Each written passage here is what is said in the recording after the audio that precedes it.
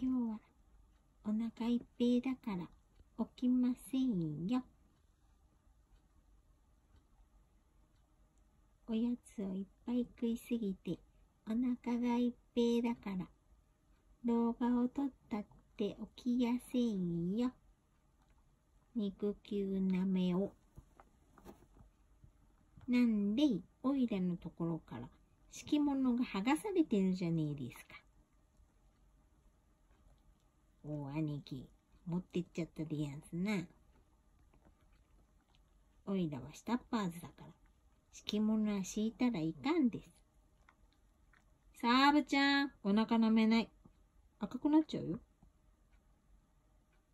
なんで疲れてんの、そんなに。スーパーボールで遊んだからママもう今日夜だからスーパーボールは出さないでください。はい。また明日の昼。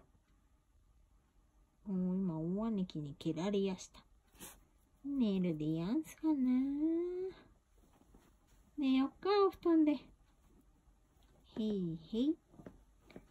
敷物ねえでやんすから。